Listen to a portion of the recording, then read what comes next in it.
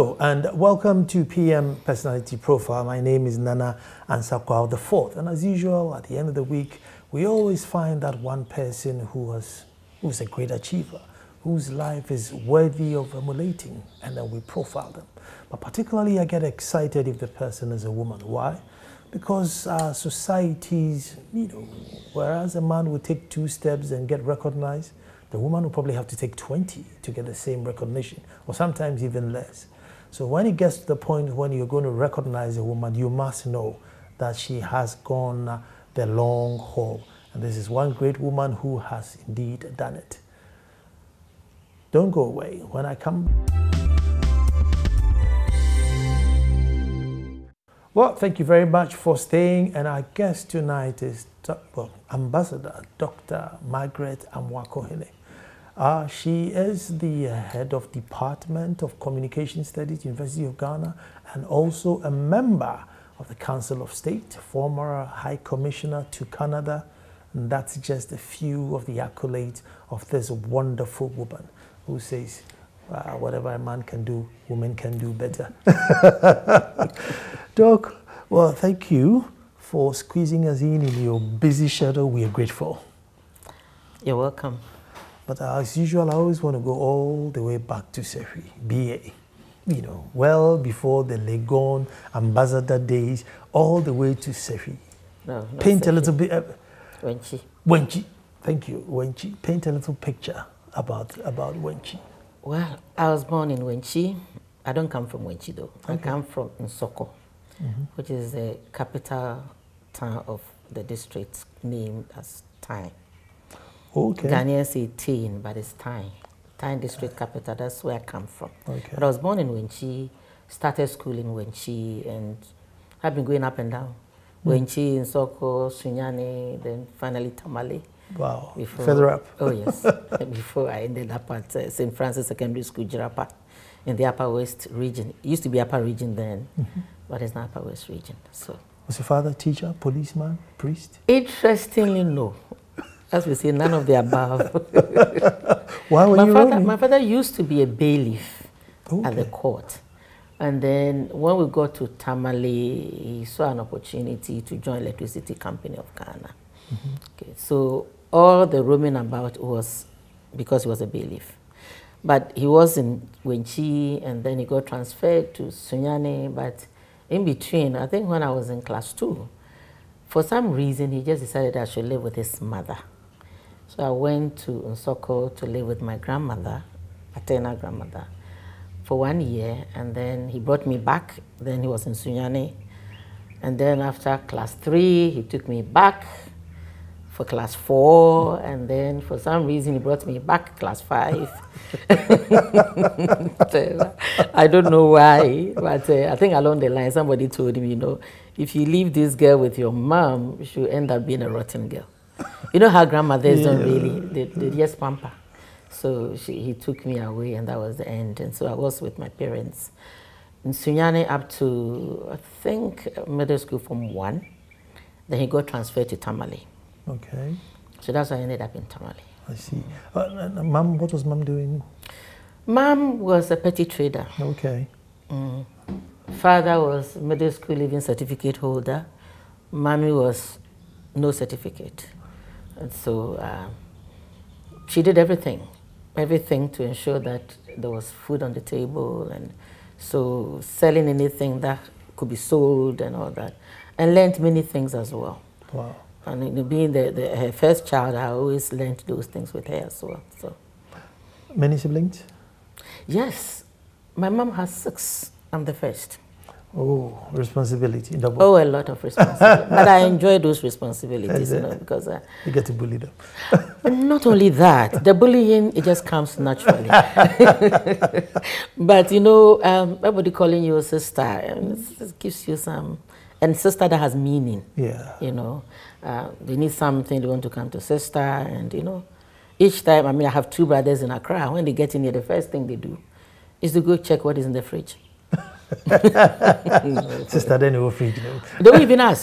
They just go and open. And if they don't find anything, then they are so there's nothing in this house.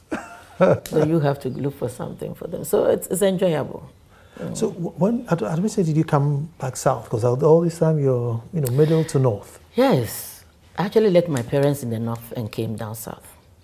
Because when I went to St. Francis Secondary School, I finished Form 5 and then came to St. Louis in Kumasi, okay. sixth form. Then from St. Louis to Accra, to the University of Ghana, Legon. And my parents were still in Tamale. So I see, I see. Did, did you ever join them or then that was it? That was your... Uh, each time I went on vacation, I said I was going home. It was Tamale I was going to. And then when I finished school, first degree, did national service on campus, then almost immediately got into graduate school, and then from graduate school to teaching. So I didn't quite live with them again, but I was visiting. Visiting. Mm. When, by the time you got to Legon, what, what, was, what was the ambition? You know, I'm going to be an account ambassador, I'm going to be a council of state member. you know, strange. When I was rather in secondary school, I had this huge ambition to become Ghana's Minister of uh, Foreign Affairs. I don't know what it meant. But I think the, the, the, the idea of maybe traveling out was fascinating. Mm. But that whole um, ambition fizzled out when that 79 coup was made and people were tied to the stake and shot. I said, no, no, no. If this is all that being a minister entails, then please don't count me out. So I actually went out of politics completely. Wow. I just didn't think about politics at all until much, much, much later. later. Mm. Did you did you dabble in student politics a bit then, or no? Actually, what I was doing in secondary school was I was in almost every club. No. every club, debating club, geography club. Geography was a subject I really hated, but I was in the club. then history club and everything club, I was there. But uh, I don't know. And of course, of course, yes, let me say yes, because I was also part of the student uh, representative council along the line. Okay. Uh, of course, we got punished along the line for something. So it's not one of the things I want to recall, you know. After, after politics, you know, left because of the coup and everything, then teaching came or? Teaching, how did it come? When I finished national service, in the course of doing national service, there was a professor who was around where I was doing national service on campus. And then we went into a conversation, and then he said, you know, his daughter needed help with French. I had done French and Spanish. So I said, oh, I was still fresh with French. So I helped her, and she passed the exam. So he actually liked me. But then he asked me, what will you want to do after national service? I said, I have no idea. I just came to the university because it was natural progression from one level to the other, but I have no idea. Then he said, you know, you, and my job at the time was editing theses and mm. um, articles and things for publication. And so he said, well, looking at what you're doing, I think you'll be good at Paul Ansah's school. So this was a School of Communication mm-hmm. Studies. Mm. I said, well, I don't know what they do there. He said, I'll talk to Paul. So go and have a discussion with him. So this is how I ended up at the School of Communication Studies. Okay. And even over there, I remember one day Professor asking me, so what do you want to do after school? I said, I don't know. I'll just going to look for a job as a PR person somewhere and then that's it. Then he said, won't you want to teach? and then I said, Prof, actually I was a bit naughty when I was a student, so I would want to taste it. So I want to teach.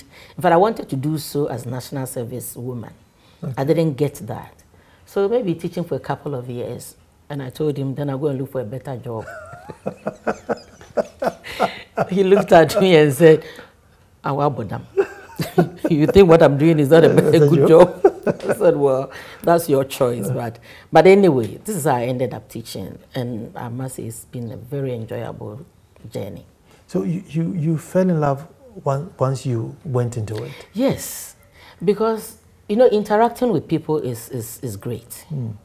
And interacting with them in a way that imparts something to them is even greater. Mm. And then I realized that I had to learn much more than I did when I was a student. Much, much, much more. So what I just said, if I had learned all these before the exams, I'm sure they would have been begging me for A's, you know. but um, it was exciting to keep on learning in order mm. to impart that knowledge and then also to meet with, and especially graduate school mm. you're meeting with different people at different times and including some who were your seniors when you were in secondary school and those who were your mates when you were doing your first degree mm. and now you are their teacher and it's like it's, it's fun so I, I wouldn't trade teaching for any other job of course but for the salary because uh, you know you've been around, but you always come back to post. Oh yes, oh yes. You know, people were asking me when I was uh, um, well appointed a member of the Council of State. They said, "Oh, my own son said, Ma, so you're leaving Legon?" I said, "No, I'm not." He said, "Why?" I said, "Why should I work here for over 20 years, and then just when it's about time for me to retire, I leave unceremoniously? I don't want to do that." So it's tiring, I must say, but I said, no, I will still continue. I have just about two years, a little over two years to retire, so why not? When as a High Commissioner, you came back? Oh, yes, after High Commissioner, came back. You know, when they wrote to us and said, well, you know, after the change of government, we all knew we were coming back. Mm -hmm. In fact, I was at home in Ghana when this happened, they, and they didn't give us any letters, so we had to go back to post. And then when we got there, just about a month, they wrote and said, yeah, we are calling you. So I wrote to Legon and I said, you know, I've taken a leave of absence. I'm coming back. I'm sure they will. Oh, immediately, my, my department, I don't know how they did, they just, I got a letter saying that you're welcome back. So I got back on, uh, it was a Sunday, 15th of February. The next day, I was in class. Wow. Yeah. I was in class. I, I didn't want to lose touch. I was in class. There, there was not much teaching for me to do because they already started the semester. Mm -hmm. But I did a lot of uh, supervision and uh, examining of thesis. And so I was back to my job. Wow. Mm. Uh, let's rewind back. We'll come back here. But during the 79 coup, you know, during the uh, Rawlings era, you know, you were very vocal. Uh, where did you get a Akukudro from? You know, I told you I had an ambition which was virtually quenched by the 79 coup. Mm. And then we thought that it was, they said it was house cleaning, four months. So we returned to normalcy, everything was fine.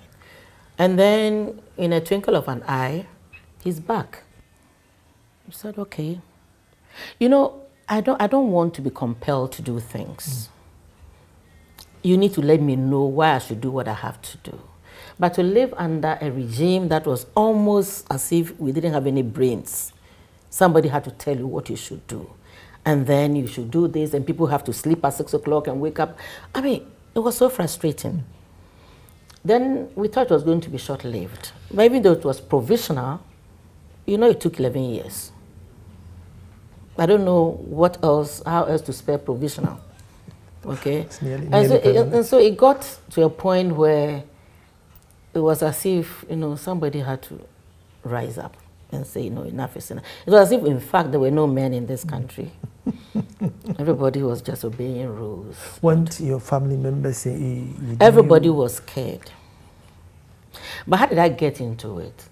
Somebody from GBC gets in touch with a, a colleague of mine and says, you know, I'm looking for ladies because I think they felt that ladies uh, the regime had a soft spot for ladies, and mm -hmm. therefore they wouldn't do the things they do to men to ladies. Mm -hmm. So, so I'm looking for ladies from the university who would be on this show and do this. And initially, I said, you know, I don't waste my time. I just want to take care of my three children and live in peace.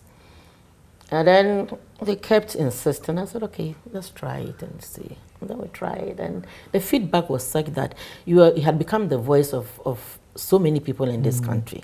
And so he said, why should I disappoint them?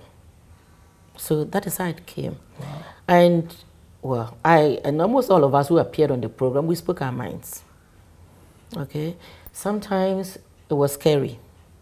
Scary to the point that family, friends, I had one of the friends uh, I made when I was in St. Francis Secondary School, one year my senior, come to lie on my carpet pleading with me that I have children, I should be concerned about my children, their future, blah, blah, blah. I said, you know what?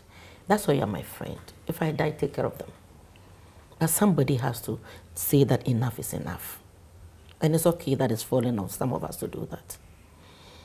Uh, Uh, have we kept quiet about that era? Like, you know, children of today who have radio stations and TV stations, uh, have we hidden that history from them? That look, there was a time when you know you did not have this freedom. You know, you know when you don't live through an experience, you don't quite get it. Hmm. Some of them, where they've heard about it, they've read about it, but they didn't know how intense it was and how suffocating that environment mm. was. So I remember my own kid brother, uh, my mother's last born, mm. who, who is like a son to me. I, I, took care of him and everything.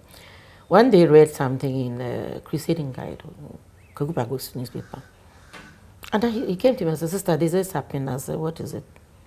You know, they used to have this thing of yearly reproducing this handing over between Rawlings and Limann. And so, ah, so he handed over to Limann and then he came back and uh, over, over. I said, well, that's what happened. I said, but how did it happen? I said, it happened in this country. so I said, initially I was saying, why would they keep on telling us this story every year? But I said, oh yeah, it makes some sense why mm. they should tell us. But the other people, you shouldn't fault them. These are young people who grew up and for a very long time knew only one leader. Mm. Okay, so all those who were born after 1979, even after 1980, who do they know? Until recently, there was nobody. And so that is their icon. Mm. And everything they learned was from what the system was teaching them, good or bad, mm. you know. So that's the kind of, of, of thing that we have lived through. Uh, those of us who lived through, it wasn't pleasant. And I always tell people, none of my relatives was killed. None of them suffered because really they live in their village in peace, so there's nothing. But it didn't mean that I shouldn't empathize. You know, mm -hmm. I shouldn't have that feeling, especially when I got to the university and then a colleague of mine that I got to know was, was the daughter of one of the soldiers who were killed. And that day I was so sad. I didn't know that she was, uh, she's now deceased anyway. I went to visit her in her hallway in Sabaho together.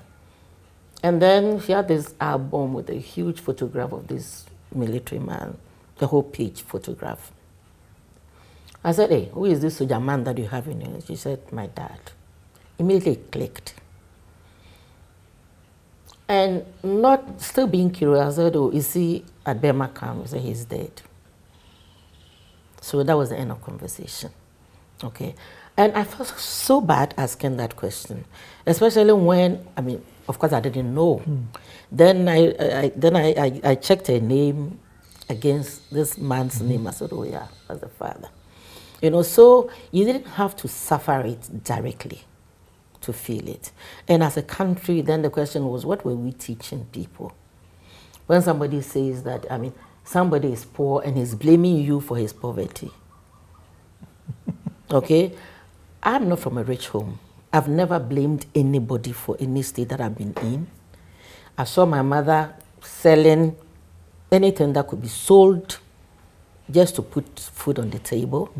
So I also knew that if you worked hard, you could move yourself out of poverty, especially when you added education to it. Mm. Okay.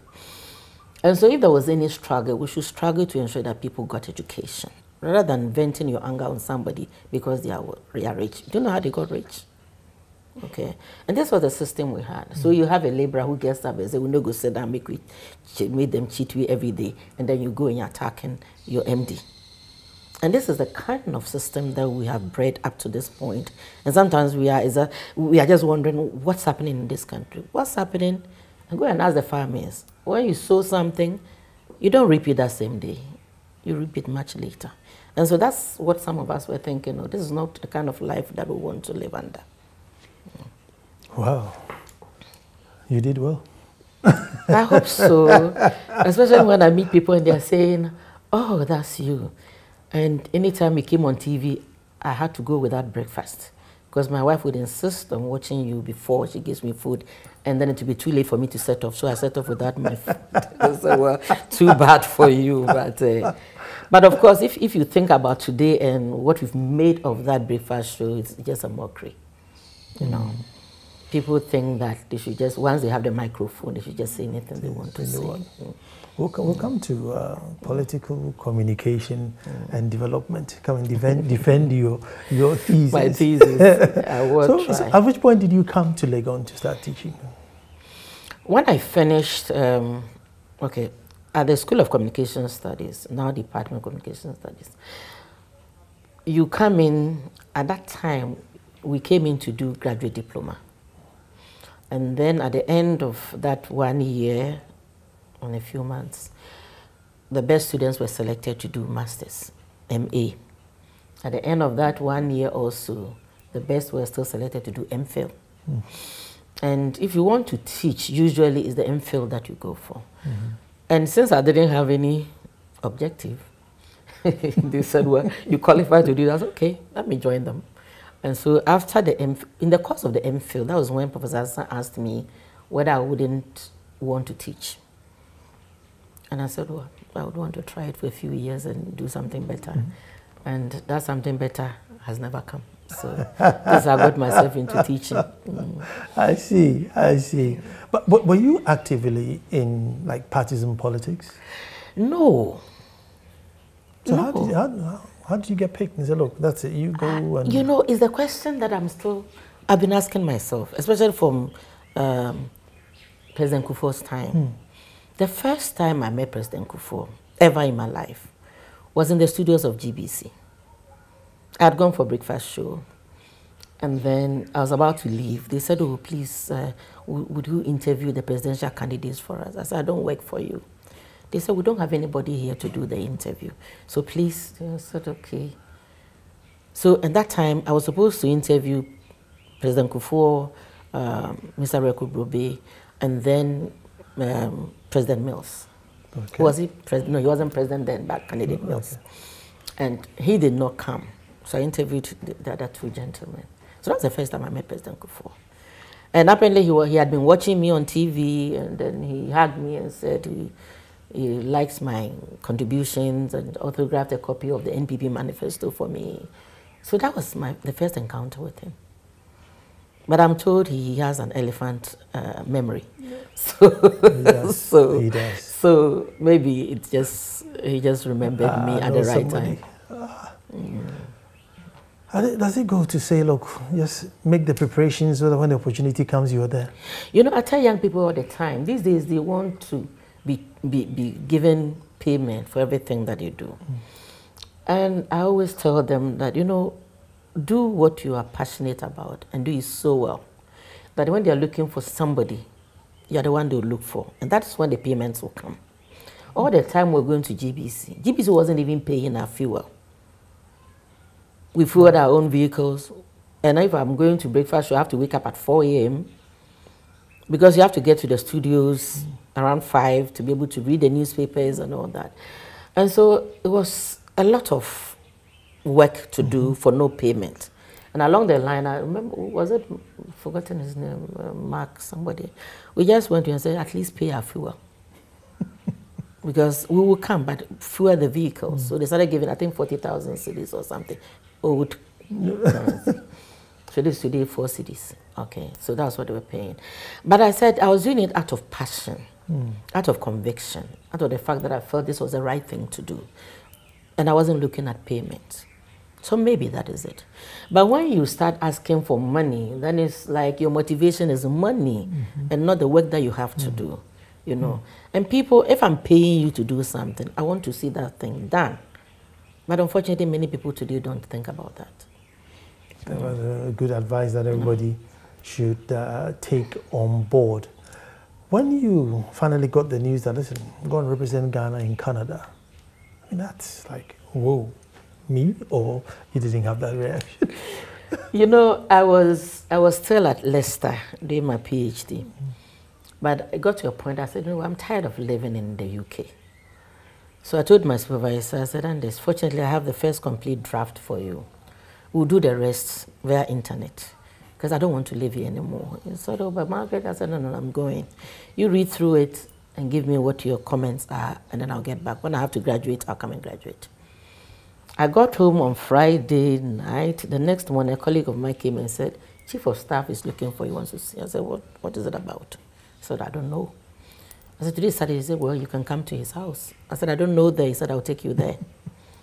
so we went. And then chief of staff, Kojo Mpiani, said, oh, there's something I need to talk to you about. Uh, should we let him excuse us? And I said, he's my friend. So if you tell me, I'll tell him.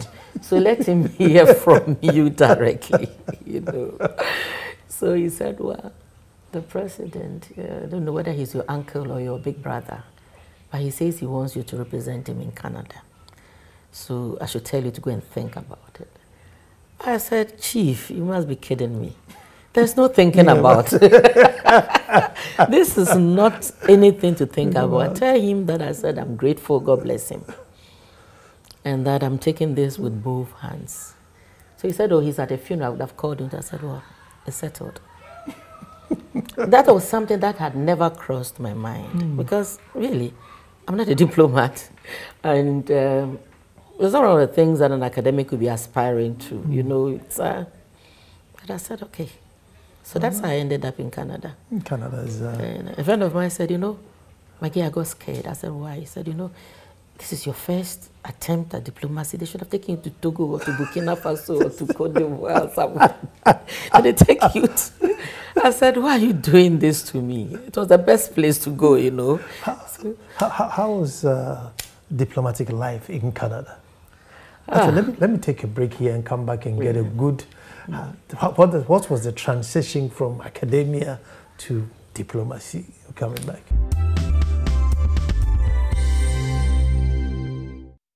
Wow, profiling the best, Dr. Margaret Amoakohene.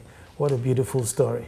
But now we're going to look at the difference, the transition from, well, hardcore academia to hardcore diplomacy. Mm. I mean, it's not Togo, this is mm. Canada. Mm. You know, to begin with, I saw it as the practical side of what I've been teaching all this while, because I teach public relations. Okay. of course. And I think diplomacy, if you take away the fact that you are uh, representing your country abroad, is about public relations, mm. Relating to people at different levels and knowing how to relate to those people. So for me, it was more of the practical side of what I've been teaching, and that made it much easier for me. And then also I have an attitude to work that says that if you can't do it, don't take it. And if you take it, you must give it your full shot and do it well. So this is how I approached my work. And sometimes, I mean, looking back, I thought that, you know, I just killed myself to do too much. Because, for instance, when Ghanaians are inviting you to a function, they choose what they call the long weekends, okay? So they're inviting you to Toronto on um, for a Saturday evening event. The next day, Sunday, they are resting. You have to travel back to Ottawa. And then the next day, you have to go to work. so I start the week exhausted. And then also, I was well aware of the fact that I couldn't uh, depend on too many people for certain things. Mm. So sometimes, even 3 a.m., I'm up if an idea crosses my mind, I pick my laptop and I have to type it so I don't forget it. And so it was fun. It was a lot of work, but it was also something that I really thought was, uh, was thrilling. How did the kids take it? You know, they were younger mm. than, of course, than today. Mm. My youngest was seven years old. Mm then uh, 7, 10, and 17 when we got in there. And, and my, my uh, the, the, first child is still there in Canada because she was in the university when we were leaving, okay. and so she had to complete, and she's working in Canada now. But um, they liked it. Oh, okay. They liked the children really. It, it's, it's a fun place to raise children. It's, it's good, and I really love the educational system excellent educational system. And, uh, and that's where it doesn't matter whether you are poor or rich. you attend school with some of the finest in society. My son's classmate was the prime minister's son. They were both in a public school. Because over there, the prime minister didn't have a right to send his son to a private school. Fix the public that, that was that's what I, I was I was amazed because he had two children. That was uh, Stephen Harper. He had two children, a boy and a girl. At the time, I don't know whether he had other children. And his son was my son's classmate, and his daughter was a year behind my daughter. And they were in public schools. So you fix the public school and you send exactly. your kids If it's not good, it's not good for all of us. You fix it, we will attend the same place. And I think that's something we should be thinking about. So that we don't mess up the public schools and take our children, not even to international schools, but out of the country to other schools mm. there. And I am somebody, I'm against this idea of you live in Ghana and your children are studying abroad. And I'm saying, why? Particularly if you're public office holder. Exactly. Even if you're a private person, I would advise that, you know, you are not there. And you know, in the West, you have a very permissive society. Mm. And Ghanaian children, when they get there, the sky is the limit. So you sit here, you send them dollars every month, and you think they are studying. They are not. They're having fun. Okay. So unless you are so rich as to be going there almost every quarter or every month, to check on your ward or maybe to go and live there with them. I think sometimes a risk that parents take and they have to be careful. But going back to what we said earlier, I mean, when there are friends and colleagues who were thinking, I mean, Canada back to Legon, why? You know, I don't know why they would think that way. Because what was I, a university teacher who got elevated to diplomatic life? I was dropped from diplomatic life. Where should I go? Come back to my teaching. teaching had not rejected me, so I came back. Because otherwise, what will I do? Because you've been ambassador for two and a half years, you sit back and say, you know, teaching is too much below me. No, not me. I guess if I ever become a president and the constitution allows me, and I'm not too old, after being president, I'll still Come find work do something. come come back to your classroom. Uh, the classroom, yeah, yeah. You know. When I was reading about you and then I read about what you wrote in your thesis, I thought, oh, what an irony. Mm. Uh, political communication to aid nation's development. I thought I'll get you to defend your thesis because you tune in the radio every morning and every afternoon and you hear the political communication and you try to graph the, the development with it. Where would you place it in your thesis today? First of all, I didn't quite make a linkage between political communication and uh, the development mm. per se. But I'll come back to answer mm. this question. I get really, I, wouldn't say annoyed because I'm not annoyed but I get frustrated that people think that, of course, because you can speak on radio in whatever language it is, you should just say anything at all that you want to say without even thinking. And the people who amaze me in the negative sense most are the, those who don't even pause to think about the question that has been asked. And they already have an opinion to express. I'm saying, but what you are saying is completely different from what is being discussed. And then people say things that they are not too sure are true. And yet they believe that once they say it, other people will believe and therefore it goes on. I don't know, but I think that we are doing a lot of disservice to ourselves and to our nation. Because for many of the people who vote, they vote based on what you tell them. Others may vote based on what they see. But there are some cases you don't see anything, you are just believing what you are being told. And then the person is lying. So the fear is that we'll get to a point where people may not find it necessary to go and queue and vote for anybody. Because the, the, what they will say is that it doesn't matter whether it's Kwesi or Zama, it's the same thing. So I won't do it. And then also you, you have all these people that Rawlings referred to as babies with sharp teeth, who, whose teeth are sharper than, than the two-edged sword that the Bible talks about. And they think that they can just blast anybody at all mm. without any foundation. And what is more interesting, when they meet you face to face, then they want to hide. Because it looks like the, the, the radio, the television provides them with some anonymity. Mm that makes them think they can do just anything. So yes, there's a gap between all the things we are saying and what the truth situation is. But I think that being in politics doesn't mean that you should lie to get anything. Let people know what the facts are. You know, and I always want to use my, when I was growing up, my father was not a rich man. I told him his background is all middle school living certificate. But one thing that I would always stand up for my father is that he never lied. Mm. If you give him anything to, to save for you and you woke him up at 2 a.m., he'll go and pick it up for you because it's still there. The only thing today is that he's losing his, he was 80 yesterday, he's losing his memory, so he'll, he'll be looking everywhere for where he has placed it. But otherwise, you know, he was so honest. And I remember in Sunyani when I was pestering him to take me to an international school, because I thought that oh, the, the, the Catholic school wasn't uh, quite good for me. So I pestered him, and now if I'm pestering you, I really do. Now I have changed. I was when I was younger. so this man felt like he should just go and find out whether he could change schools for me.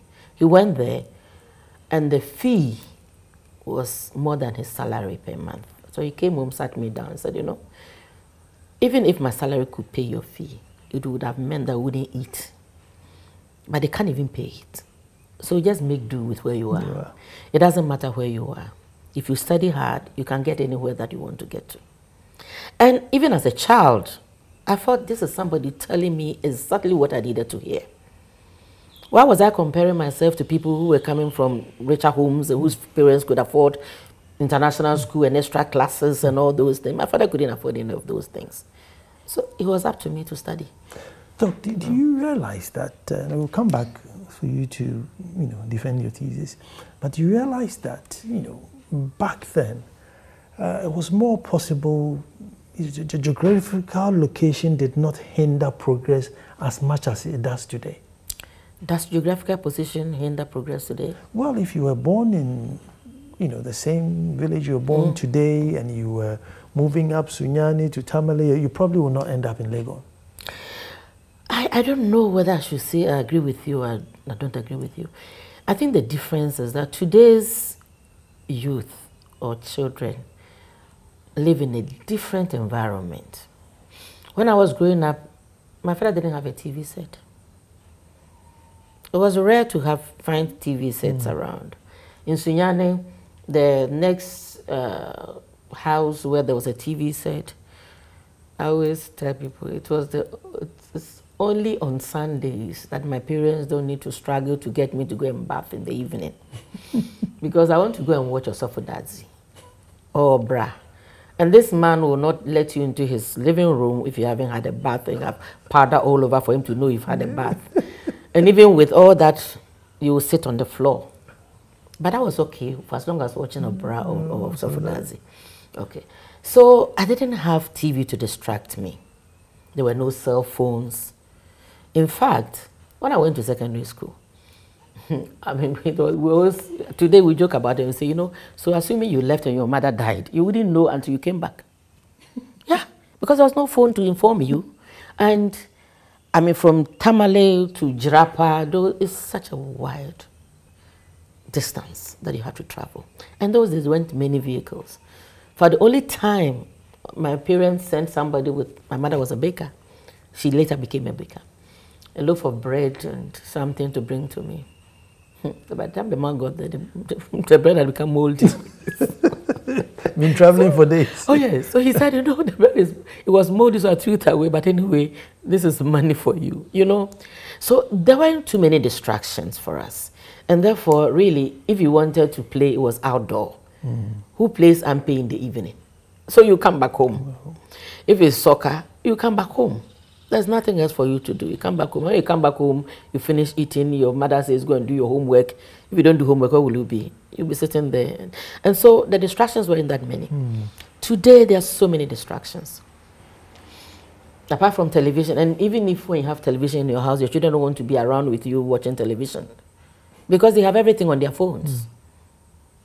And I pity those people who buy phones for their children when they are still in the basic level. I don't. I tell my children, if you want to get a phone, you must get to secondary school. At least that's the level of maturity, mm -hmm. then get a phone. But I will not buy it for you at that level because I think that the distractions are too. So this is the problem. Mm. So children don't get to devote that much time to their studies anymore. Secondly, we used to have very dedicated teachers. Teachers who were role models, they were also like our parents. Okay, and therefore they guided us. Today, there are many in the teaching profession who are there because of the salary. Otherwise, why will any teacher absent himself or herself from school for extended periods without any reason when you know there are children for you to teach? Mm. It doesn't make sense to me. Because if that's your passion, and that's the, the calling you think that you've been called to do, and this is what you have assigned yourself to do, then why are you not there doing it? So these are some of the problems we have today. So I don't think it's about geography as much as about the environmental changes that have happened and the fact that what used to be then is not now. Mm. And therefore, the children need to work extra hard to be able to put all the distractions away and concentrate on their studies. Hmm, point taking. So now we come back to the thesis. Yes, the yeah. thesis. What do you want to know about the thesis? How, how, what were you studying? What, what was your curiosity? My curiosity was looking at, you know, when um, Rawlings became the president, he came with some baggage mm.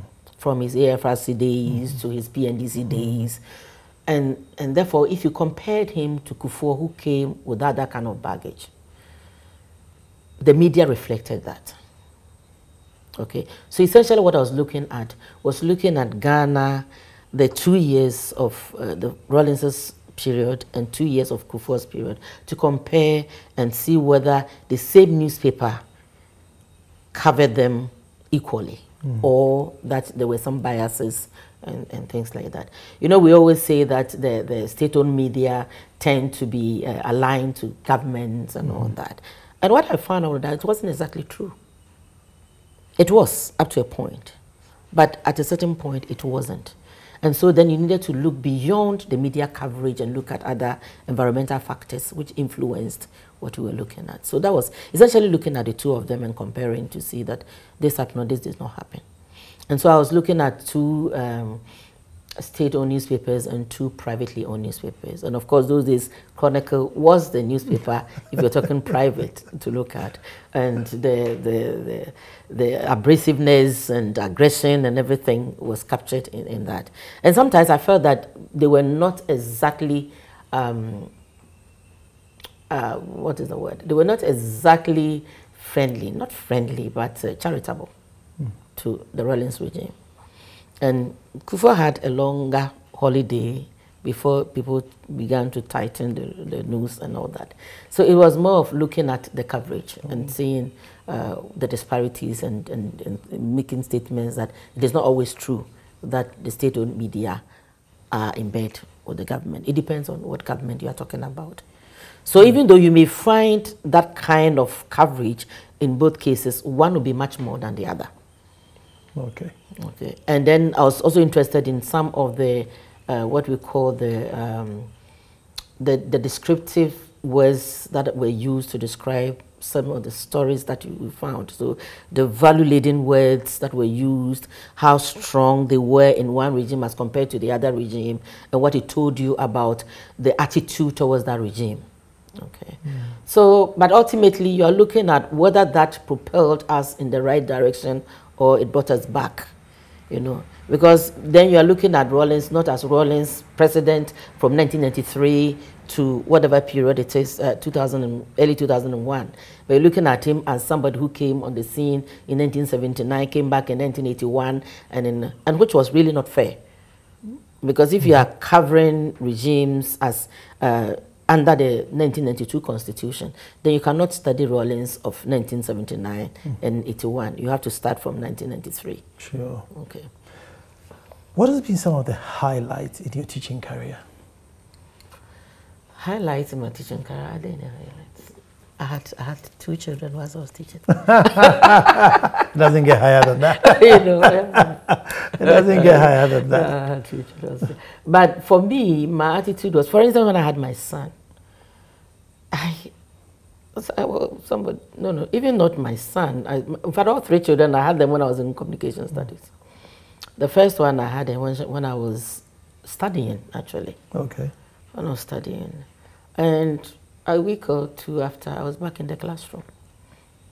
Well, the lecturer said, why, you, you didn't give birth? Did you, or was it an egg that you dropped or something? I said, well, there, there's time for everything. The, the child, fortunately, if you have a mother like mine, you never lose out because mm. she's always there to take care of them. Oh. In fact, my daughter sees her as her mother. I am her biological mother. My mother is her mother. And there's always a reason because, you know, I breastfed her for six months. My mother breastfed her for one year. and so she's more attached to her. And if I took a doctor to tell me, you know, stop this, otherwise your mother will take all the affection from you. and she, she did take it because my daughter, anytime she hears my mother is sick, she's almost commanding me what to do for her mother and all that anyway. And then I had my son when I was teaching.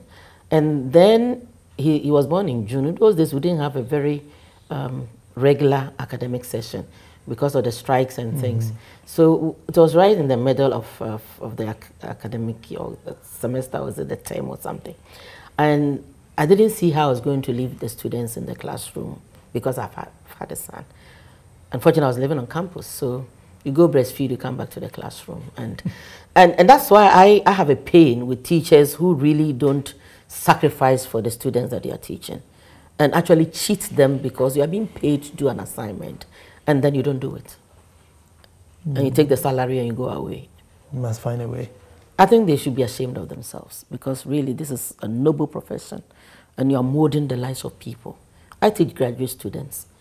They are not kids, but they are still getting molded before they leave, okay? And uh, I don't know if you say highlights, I don't know. I do my job, that's all. Well, that's, uh, I'll take, I think that's the highlight. Mm. Any, any mm, low moment Oh, there've been a lot of low moments in my life, low moments, many of them. But uh, each time, my God is there to provide support. Mm.